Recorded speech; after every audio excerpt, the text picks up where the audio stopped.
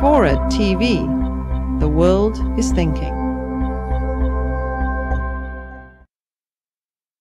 Well, with the dodgeball stuff, it was a, it was our thesis at NYU, and you know the idea was, what if we just could put a whole bunch of dots on a map that represent where people are? Like, what would be the interesting ways to connect the dots? Would people, would strangers want to meet strangers?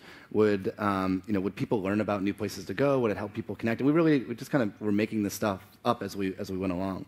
Um, and with a lot of the lessons that we learned from, from Dodgeball are kind of in Foursquare now. And you know, one of the things that we used to call it, it's like, it's like technology that facilitates serendipity. So you know, by knowing where everyone is, it, like, it gives you this weird ability to kind of see around corners and see through walls. Where you know, in New York, you know, you can be walking down the street and you get these pings, and a friend is across the street, and or a friend is two blocks away. And so it really changes the way that you um, that you experience a lot of this stuff.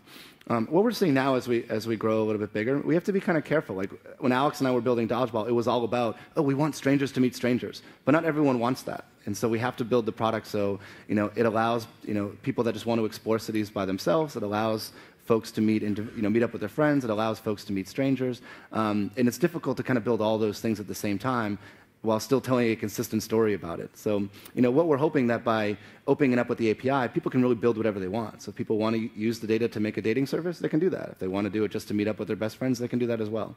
Um, so I, I, think it's, you know, this is the first time we've had an API in any of the things that we've built, and it's, it's, it's great to just, you know, see people taking, you know, the data that we're generating and making, making products of their own based upon what they want out of it.